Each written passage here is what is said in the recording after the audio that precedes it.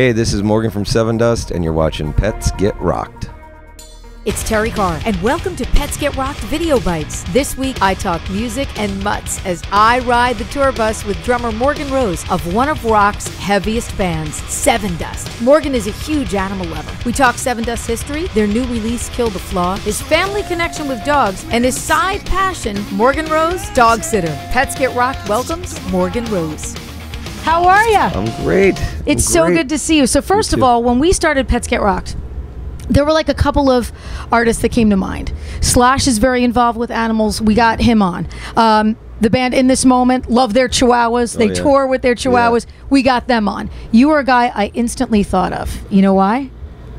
We had a discussion at the studio. We did. You and me talked to an extensive length about two things Prince and pit bulls. That's We right. just talked about animals. I want to start, though, with the record Kill the Flaw, Mm-hmm. monster record. Thank you. Thank so you. good so good it's everything we love about Sevendust it's melodic it's super heavy and the fans love you guys because i always see comments on social media like thank you guys for never selling out you know Right. you never ever sold out but i still think that Sevendust is one of rock's hardest working and most underappreciated bands. Do you guys ever feel that way? I mean, I don't want to say know, underrated, but underappreciated.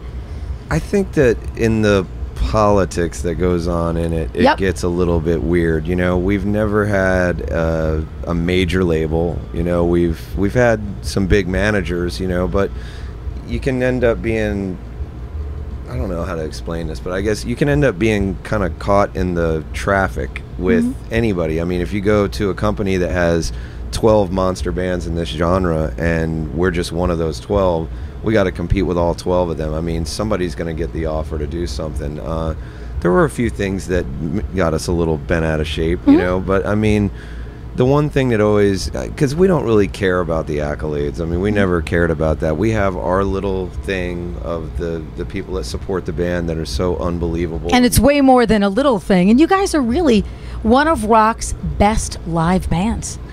i mean we've been doing a lot of we've played a lot you know we know how to play with each other up there you know Oh, it's sounds a little amazing. strange First time uh, I saw you was Rolling Rock Town Fair uh, years ago, and I remember just being like this.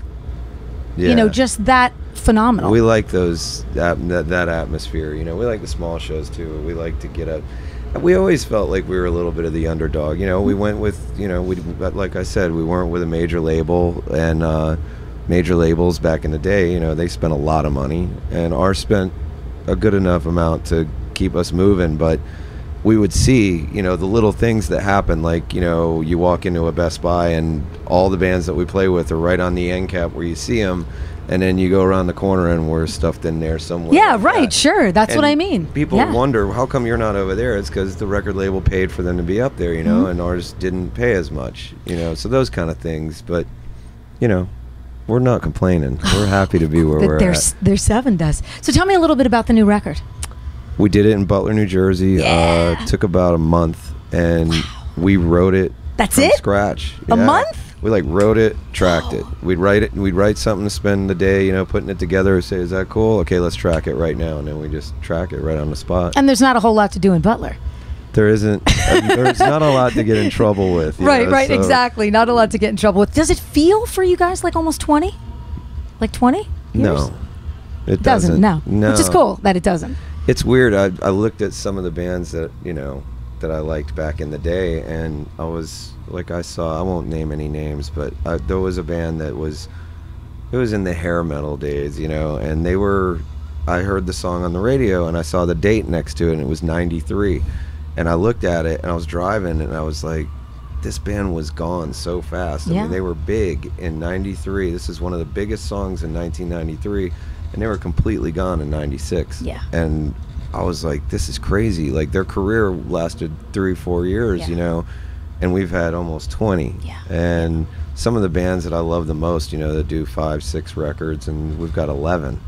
you Yeah, this is your 11th. Crazy. Crazy. So let's talk let's talk animals. So I said to you when I saw you last time, "Oh, we just had some dogs here." And your whole face lit up. Yeah. And you were like, "Oh my god, what kind of dogs? Like where were they? Are they coming back? blah blah blah." Yeah. What is your connection to animals? Have you always been an animal lover? Did you Always. have pets as a kid? Yeah, my uh, my grandparents, um, they were they bred Afghans. Ooh. That's how just gorgeous, you know. And they had Shih Tzus and Afghans, strange mix, you know, Yeah, in the right. house. Two little, you know, dogs running around, and then these, you know, The Farrah Fawcett of dogs. Yeah, Farrah that's what they look like. Yeah.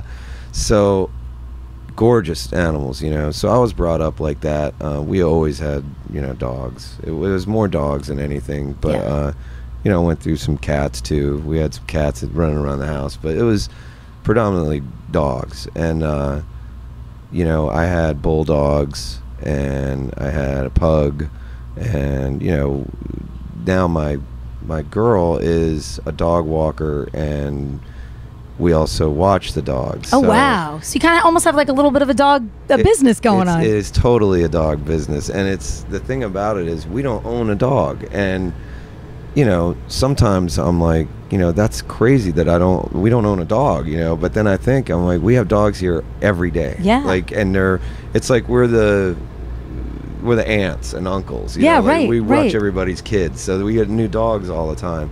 But she's, uh, you know, and they, I'm brutal with them. I mean, I want them to sleep with me, and I whisper the hell out of them right away, Yeah, and yeah. you know, I'm all about the dogs, and she has to go and walk other dogs. So a lot of times, you know, I'll spend a lot of time with these dogs while she's out. I wonder if the dogs you know, that they're hanging out with like Morgan from Sevendust. Yeah, See, that's the beauty of a dog, though.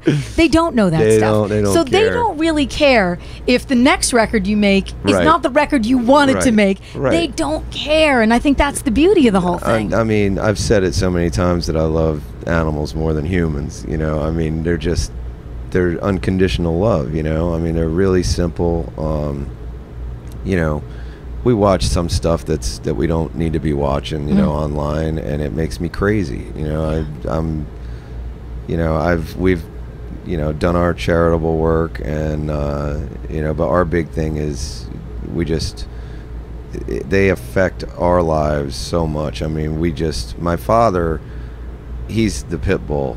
You know, he's, he's yeah, we talked about pit bulls and how, Yeah. um, you know, the breed has really been punished. You know, Yeah. and uh, I remember us having that conversation. And He had uh, his dog for years, and uh, when he passed away, it was like lights out. You know, I mean, it was it was hardcore.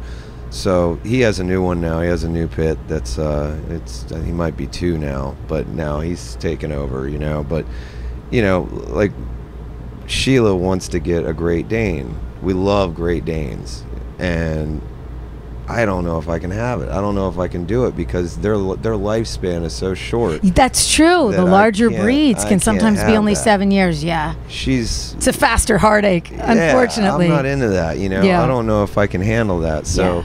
she's really wanting to get one, and I wanted to get one, and then I'm like, uh, you know, there's not enough room around here for him. But then I love it though. After Sevendust, it's going to be Morgan Rose's doggy daycare. Oh yeah, That's be- totally I what I love picture. It. I love it. Yeah. Oh, I that gotta. would be I'll come by and clean some cages for you guys. It'd Be amazing. It's always great to see you. Feelings are mutual. It's always awesome.